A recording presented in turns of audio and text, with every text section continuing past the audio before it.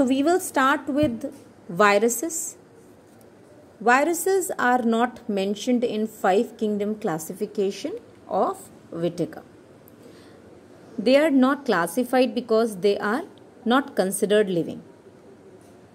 You should understand that viruses are something which when present in air or in an outside environment in vitro outside the living cell they are not able to uh, perform as a living organism. Okay? They just don't perform as a living organism. They don't show any activity.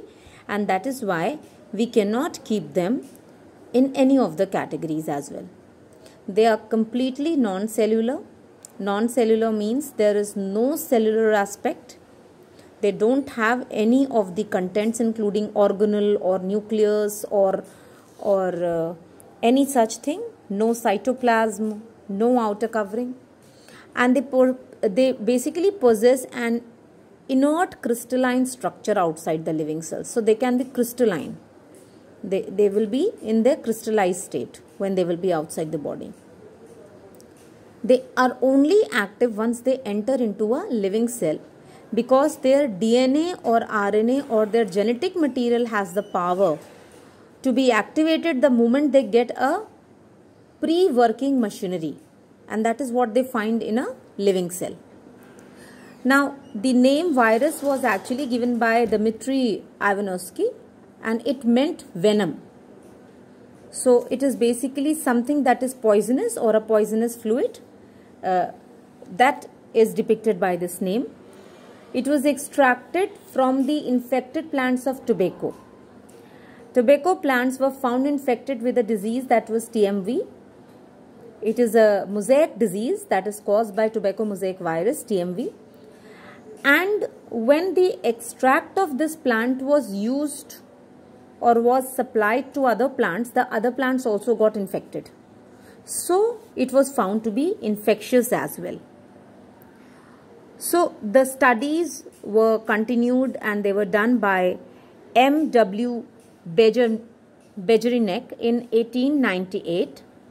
This extracted fluid was called contagium vivum fluidum that meant infectious living fluid because it could be passed from one body to the other, one living body to the other causing the infection to spread. Now, then it was shown by W.M. Stanley in 1935 that this virus could be crystallized. This is a character that doesn't belong to living organisms at all. And when the crystals were studied, the main component was found to be proteins. Obligate parasites, of course, because they will be active only when they are present in some living body. So, they they will derive everything from the living body. Their genetic material could be DNA or RNA. Viruses, you know, that is actually a nucleoprotein. What is virus? It's nucleoprotein and its genetic material is infectious.